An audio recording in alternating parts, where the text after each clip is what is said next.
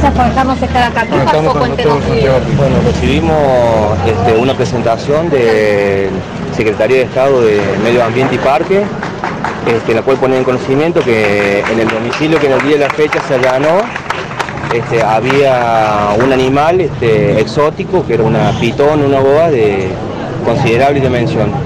Inmediatamente se puso el mecani- en- todo el mecanismo en marcha, se procedió al allanamiento y efectivamente en la morada encontramos este animal, el cual andaba deambulando por los distintos ambientes a una temperatura importante, o sea, la temperatura ambiente de, de de las habitaciones del departamento estaban calefaccionadas.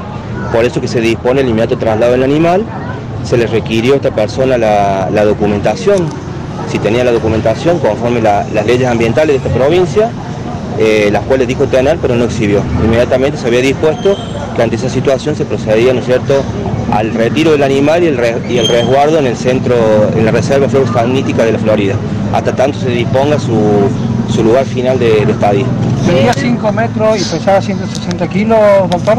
Mire, las dimensiones eran importantes, la verdad, este, creo que un animal pesado, no podría decirle si era ese, pero eh, por las mismas imágenes y la apreciación uno lo puede, cuando lo lee, un animal de esto, era una, eh, tengo entendido que era una hembra y tenía un año de vida y estaba hablando cerca de más de 4 metros.